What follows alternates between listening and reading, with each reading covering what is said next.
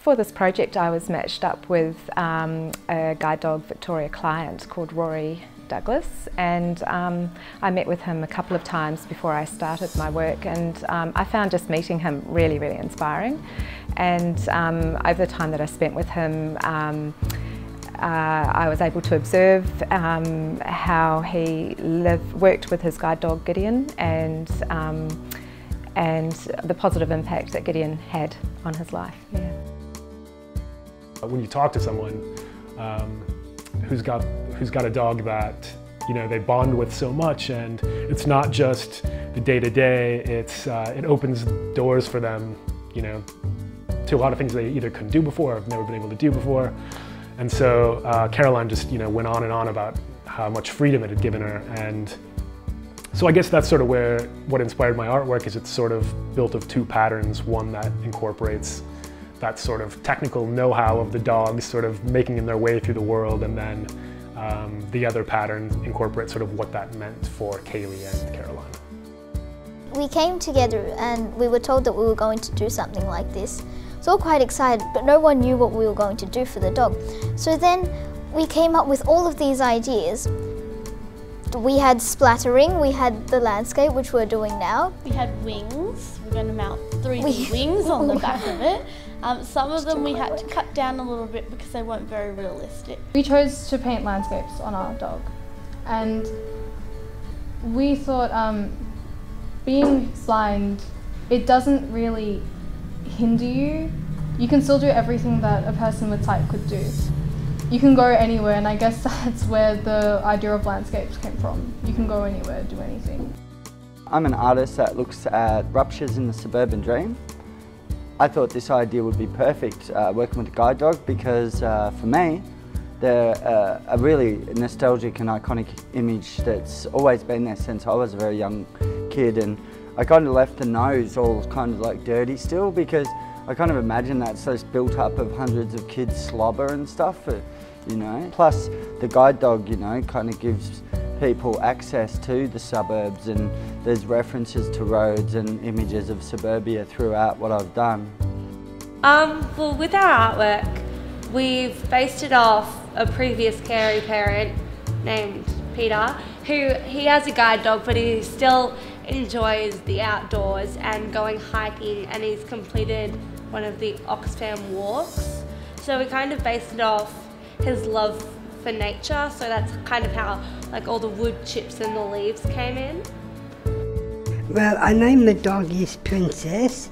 I choose it because it's a nice name and I love to name that. I done red, white and an Aborigine design. And then I done the red for the back side. I'm just so happy to done, that I done it. Initially I've gone with the idea of a bird and that sense of freedom that the guide dogs provide. And um, from there I developed it further into uh, sort of an owl and that uh, sense of wisdom that they're able to provide. Our topic in art was freedom, so all the pictures we put on there were freedom, kind of like the bugs, eagles which fly, have wings, and some of them were birds coming out of a cage.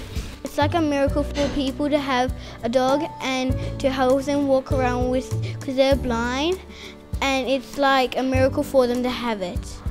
Um, I knew that they um, help people who are blind and that you're not supposed to um, touch them or give them a pat when they're doing it and they can get taught really well.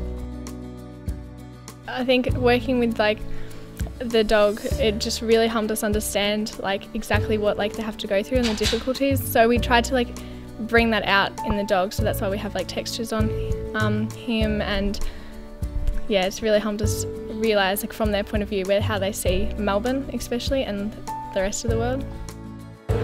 It's like some people if they saw someone with a guide dog they'll go, oh they're blind, they can't see, they're like missing out on the this part of life, but it's not really true in a way because they can still get out, they can still enjoy everyday life. They just can't see what's going on around them, but they can still feel it and everything.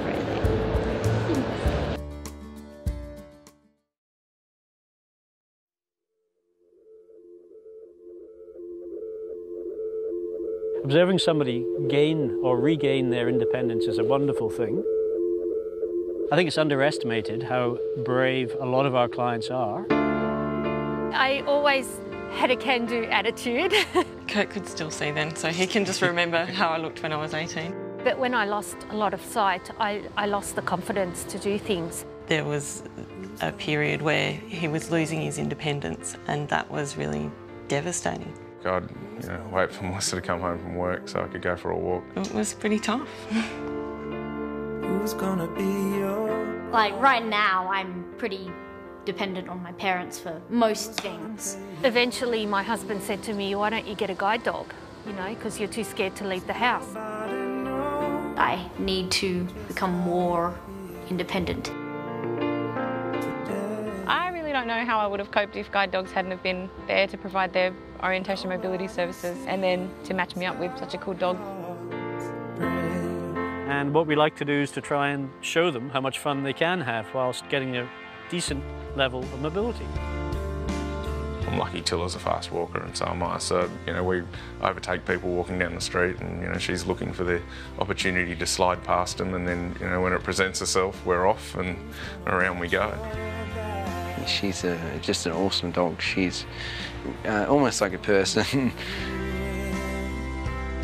it's the biggest thing, the freedom. It's like I was let out of jail.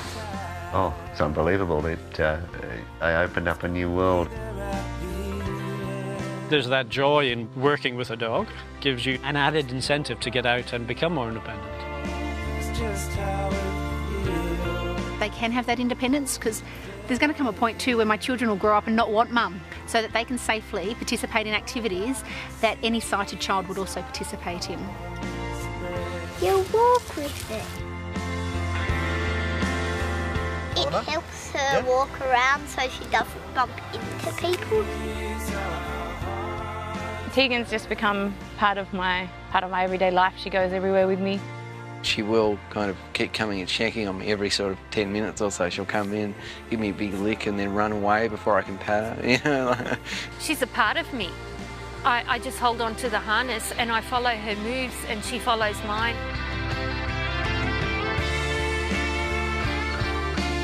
It opens people up, gives them dignity, gives them pride in what they're able to achieve. If I didn't have a dog, I wouldn't feel confident. I'd think, oh, I might end up somewhere and the kids will get hurt. But with the dog, I trust her so much that I trust her with the kids too. I wanted a dog that was going to improve my quality of life and my confidence and my independence, and she's definitely done that. Well, I can't imagine being without one.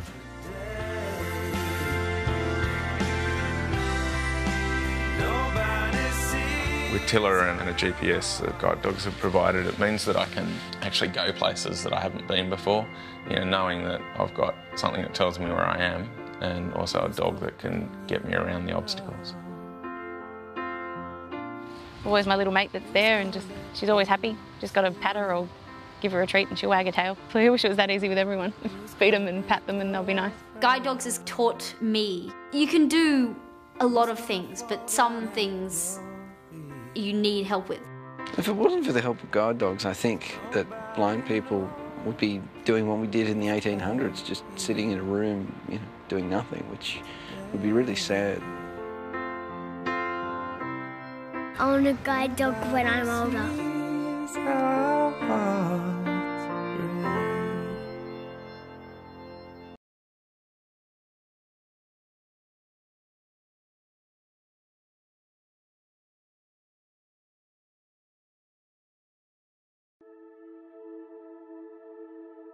Four days was, was the time frame. Returned from the holiday late on the Friday night.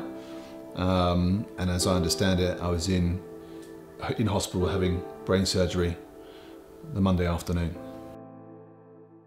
Sal and I uh, um, and the boys had returned from a fantastic holiday up at the Gold Coast where we took the boys for um, uh, a great week away, Universal Studios, uh, Wet and Wild, etc. Had a great time. Um, and upon return from holiday, um, I was suffering with um, uh, pains in my, in my left ear. Following um, my infection, um, I had gained meningitis, which had subsequently uh, caused an abscess on my brain, therefore fluid on the brain, and the brain had to be drained. I woke up in hospital, realised that I couldn't see anything, didn't really take too much notice of that at the time, but I just heard lots of different voices, including wonderful Sally, my boys, but also um, my family from the UK, and then everything sort of unfolded from there. Yeah, so that was a challenging time just to hear it bang, you know, you are going to be without vision for the rest of your foreseeable life. I think when it first happened to Rory, I absolutely thought it was a major disability because it's such a huge, I think if you've had sight, it's such a huge thing to take away. Well, I was introduced to Gideon in September of 2014 um, in, on another program that I was attending, um, as it was thought by um, Janine, my guide dog instructor, that Gideon could, and she emphasised the word could, uh, at that time be a potential good fit. So Gideon um, spent uh, another 24-hour period with me, um, doing some obedience classes, doing some walking around his residential area, and being introduced to him and working with him for that short period of time, just re-emphasised the fact that working with a dog was, was what was right for me. And as a result, Gideon was made on offer to me. Sally was here at the time, and it was really emotional. Sally burst into tears. I got a bit teared up, um, but it was just wonderful to have got to that level, if that's the right description, to be to be deemed ready to take on um, or, or, or, or, be um, right um, for a guide dog, and that guide dog, all going to plan, could be or would be Gideon, which was just huge, absolutely huge.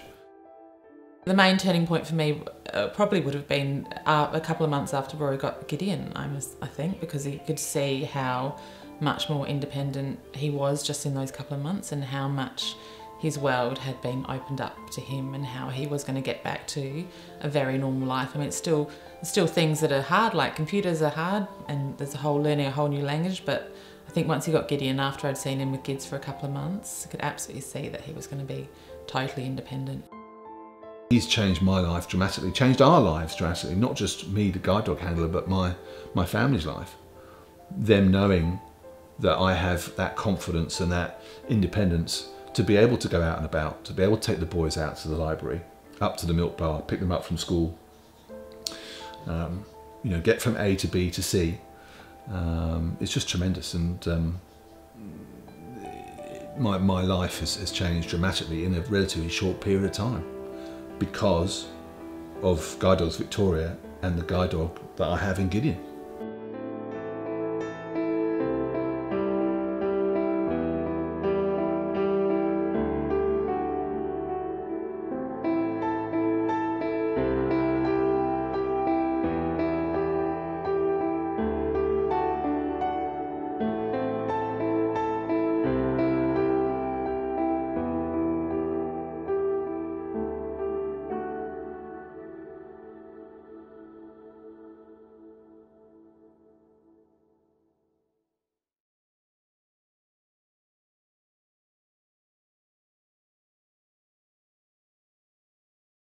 I think that's what I learned the most is, you know, you can sort of imagine how much someone must bond with an animal like that, but to then talk to someone who's, um, you know, has that, has that dog as part of their lives day in and day out. And, um, you know, I think that was the biggest learning experience for me. Yeah. This has brought more awareness to people with vision impairment and now we can kind of go, oh yeah, that person has visual impairment, so, but they've still got this freedom with the guide dog. When we met with our client, I think we were all just struck by how courageous and how confident she was, even without her sight. I mean, uh, we, we don't know what it's like to live without sight. it made me think, you know, in order to come up with a concept that was suitable for the dog, uh, I kind of thought about the role of the dog, which was kind of like taking people around the suburbs and giving them the freedom to be kind of somewhat free. And so that was kind of something that I thought about. Often we see people for just what they are or what disability they have, but actually they've got a whole personality, they've got all different types of hobbies they like to do. So it was really important for us to, um, to know that. When we went with Margaret, she told us all about like what happens when the do- guide dog, i like when she is like calling for the guide dog, the guide dog will come to her and like sort of like sit with her to make sure she's okay. Initially, I've gone with the idea of a bird and that sense of freedom that the guide dogs provide. And um, from there, I developed it further into uh, sort of an owl and that uh, sense of wisdom that they're able to provide. I've been an artist for a long time. I've done the dog. It's colourful and I like doing it and it's fun to do it and I'm just so happy to done, that I done it. Rory having lost his sight as an adult and then having to relearn how to operate in the world without sight. I'm just totally in awe of his um, um, ability to be able to do that. You know, they help their owners every single day and they, you know, make their life a lot easier, you know, without the guide dogs, they, you know, pretty much wouldn't be able to go out in public or do a lot of things around the house. So we just learnt a lot more about what the dog does and how important they really are.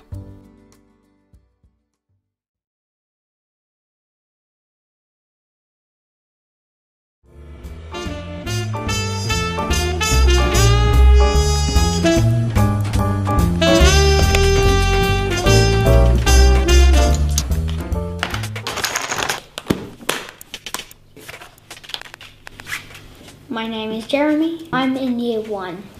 Talented, um, friendly, um, intelligent. I like playing games. That's my favourite thing to do. I had cataracts and um, I had to go to the doctor. He replaced the cataracts in my eyes with plastic ones, so I can't see as well. It's super hard um, for me to play, play handball because I can't see as well. If I can't see the ball, how am I going to hit it? I am positive, funny. Depending on which friend, one of them would probably say I'm crazy.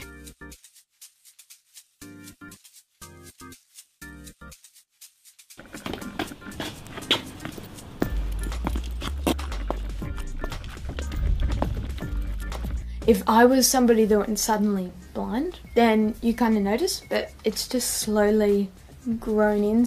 No one could tell that I have a vision impairment unless I use my cane. And I get the question a lot of what can you see? It's kind of really hard to answer because I don't know what you see. They go, you know, how do you move around? But I just do it. If anything, my vision's just going to get worse. I could be about fully blind when I'm about 50. Well, I wouldn't mind being on a show called Time and Away. I don't know if you've heard of it. My name is Tom Beltraw and I am 11. I like to go for walks in the night and hunt spiders. I have retinitis pigmentosa. I don't really know what it means. It's just like tunnel vision. I can mainly see just in front of me. I have a pet snake. Her name is Shoelace. Three words that describe me is smart, uh, good at doing braille, and good at bushwalking. The three words that best describe me is probably chilled, out there. I like to let people know who I am. Somewhat shy when I first meet people. Oh, what I hope people would say about me is bubbly and happy and hopefully good singer. Not trying to be Vain, is that the word, vain? The three words that best describe me are kind, clever, and daring.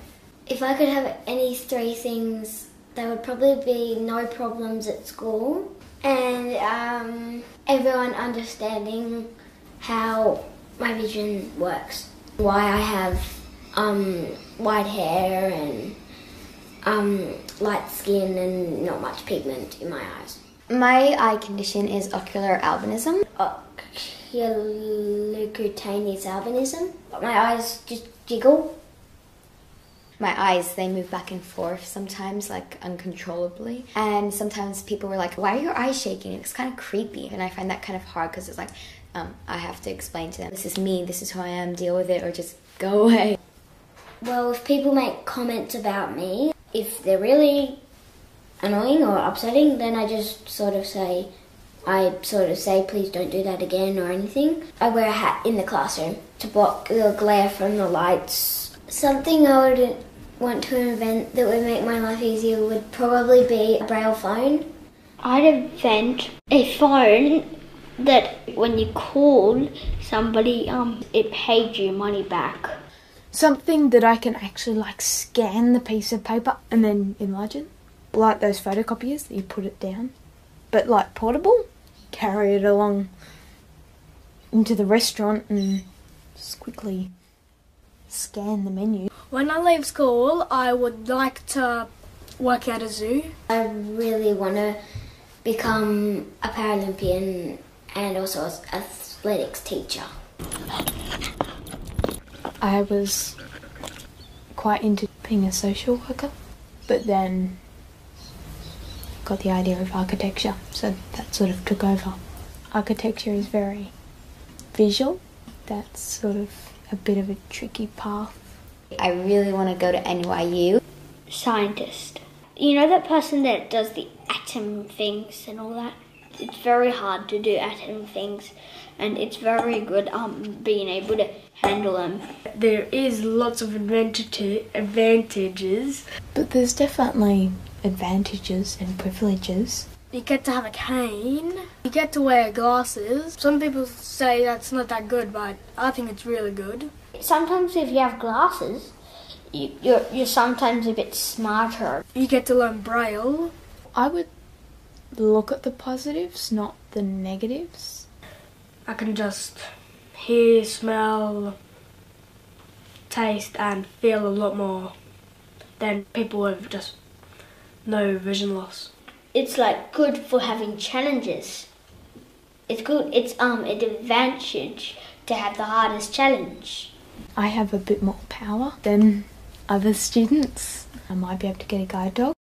Do you ever have any troubles or any problems, communicate them? If I had the choice to change myself, I wouldn't. I'd change seeing, seeing things. Now I can't see the ball as well, and then then it's very hard to play. You know. I actually wouldn't change anything about myself. If I could change one thing about myself, it would be better vision. I don't think I really would want to change because being unique isn't a crime, it's an honor. Don't change just because someone else wants you to. Try and have fun doing everything. Don't complain. Listen to your mum and dad. Don't always run like, next to me because I might not see you and I might bang into you. What would you want to be doing once you leave school? Going on holiday.